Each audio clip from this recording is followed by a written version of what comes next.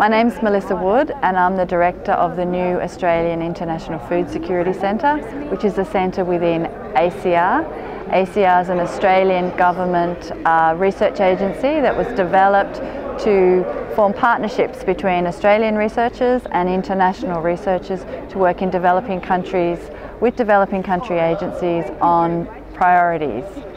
The focus of our centre is to accelerate the adoption of research innovations that are coming out of the research sector but not actually making it into the hands of the smallholder farmers who need that information, that knowledge, those new practices, the new seed varieties, etc., the access to markets in order to improve their productivity and help feed Africa.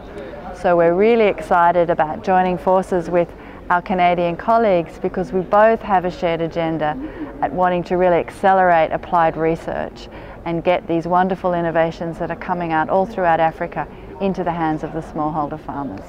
So we decided that the very best place to launch our new fund, Cultivating Africa's Future or CultiAF, was at the FARA Science Week because this is such a huge um, fundamental event for agricultural research across Africa and a lot of our hopefully potential applicants will be here today. The, the researchers from national research institutes, uh, universities and the sub-regional bodies who hopefully can facilitate and coordinate some really great research proposals. So for us it's fundamental that we're here to do the launch